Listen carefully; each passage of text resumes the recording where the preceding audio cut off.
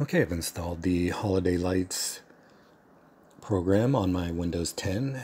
It was originally on my Windows XP machine, but you can download it from MajorGeeks.com. It'll put holiday, holiday light borders on your screen and it plays Christmas music. Once you get it running, you can click on the icon in the lower right corner and click on Holiday Light settings.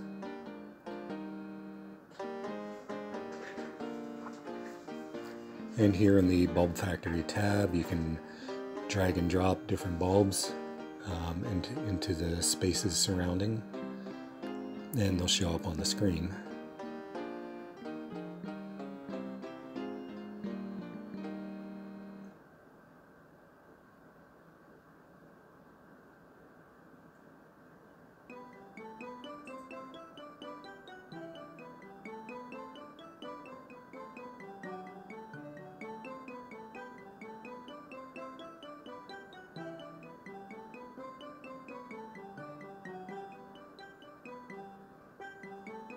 Over on the right side, you can set the flash settings for the bulbs.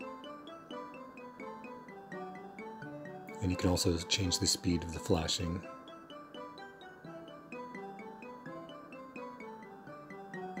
If you go to the music box tab, you can uncheck any of these tunes that you want to play.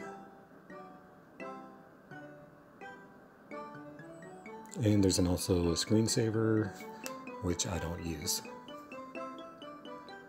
And when you're done, you can click OK. And that's all there is to it. Thanks for watching.